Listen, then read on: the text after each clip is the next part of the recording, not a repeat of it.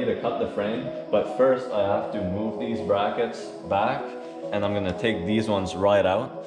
So what I'm gonna do is I'm gonna take the grinder, I'll put a little slot into the, the um, rivet, and then I'll pop them off with the air chisel.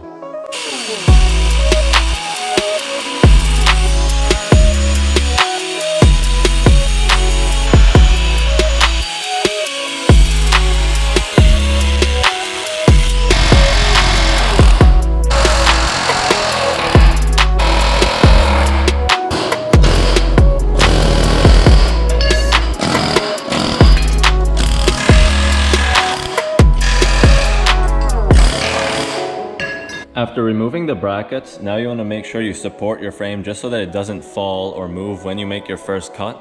So I drew a line right here. It's pretty much halfway between this cross member and this cross member. And you want to make sure you have at least 12 inches on either side of your mark. You'll see why in just a second.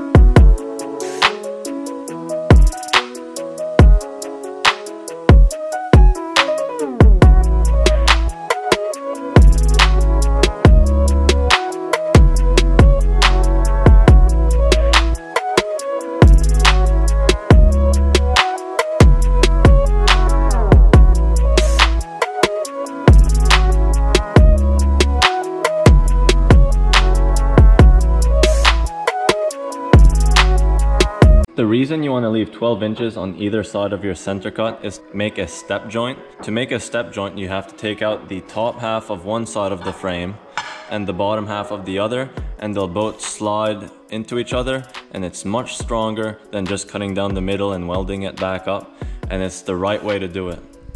I just slid both parts of the frame together. Now you can see what the joint is supposed to look like, and for added strength, and peace of mind, you should also bolt a plate inside, which uh, I'll be doing. But first, let's weld this joint together properly and we'll go from there.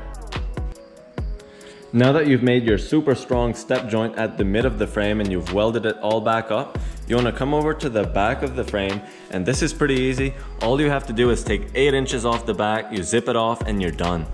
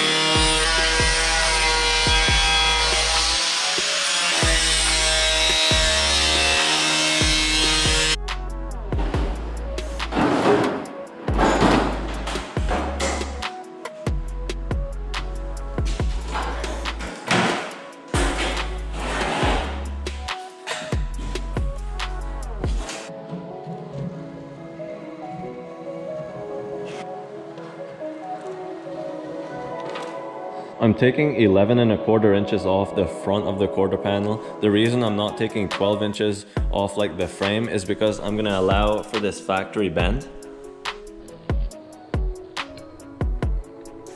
And in the back, I'm gonna be taking eight inches off and joining it back together.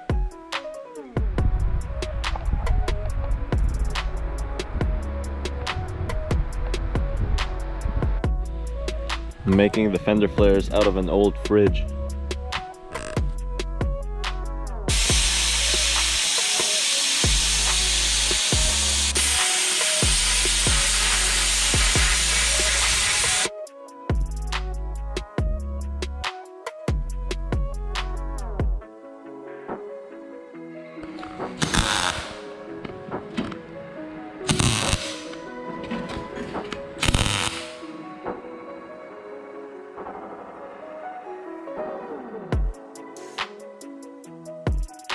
I just want to say that I raised the wheel arch 3 inches over stock. The reason I did that is because I want to fit some pretty big wide tires in the back while keeping the ride height low and I don't want to have issues with clearance or uh, rubbing with the quarter panels or the front fender. So I think 3 inches is going to be enough to get me by without any issues.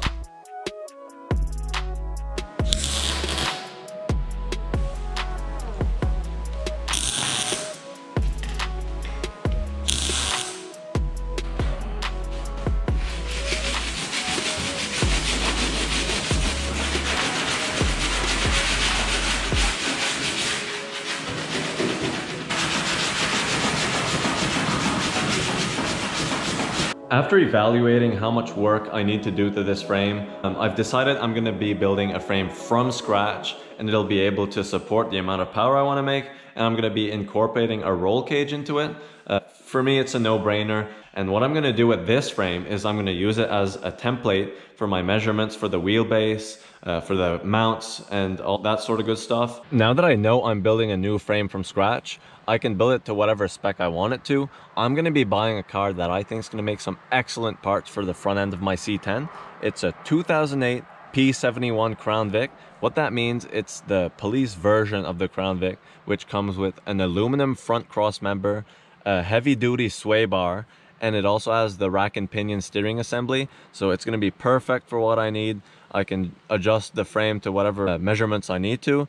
And uh, there's a ton of aftermarket options for these uh, Crown Vic front ends like adjustable coilovers. Uh, you can get the refurbished steering assembly for like $200. So a really good deal. I only paid $300. I didn't pick it up yet, so let's go pick it up and I'll see you guys in a minute.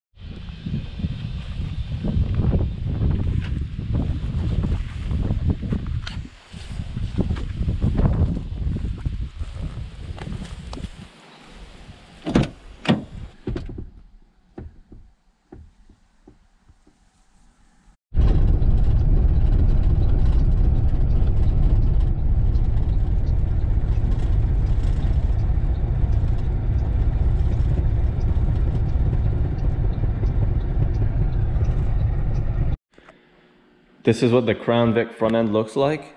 I'll obviously clean this up and make it look nice, but um, for $300, uh, rack and pinion steering assembly, aluminum cross member, and it actually drops the truck quite a bit. The reason you don't see many Crown Vic front ends on C10s is because the frames aren't the same width.